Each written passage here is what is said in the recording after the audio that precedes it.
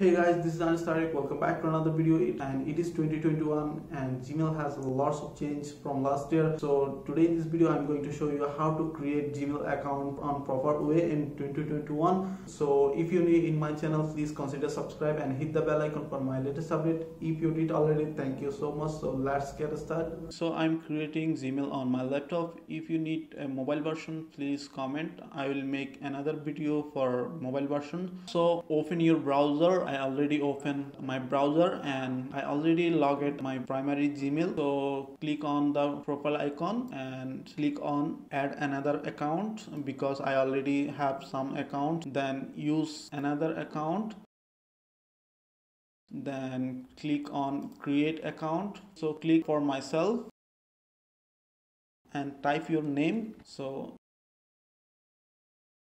then create a gmail username. I am using Anis Tarek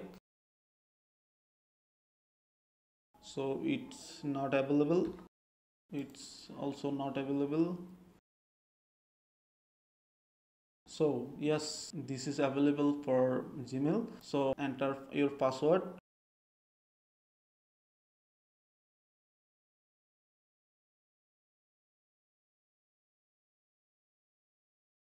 then click on next and give your number. And if you have another email account so enter this email for your recovery. Suppose you forget your password then you can recovery by this using this email. Then give your date of birth. Then give your gender. Then click next and you can verify your number right now from here but I'm not verifying right now. Click not now.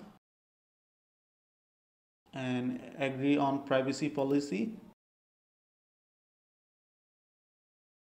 After agree privacy policy, I'm successfully created my Gmail account as you can see. So use this Gmail. I can use any Google service like Google search, Map, Play Store, News, everything. So yeah, pretty much that's it. So I hope now you can create yourself account. If you're creating account by following this tutorial, please like my video and share my video. See you on next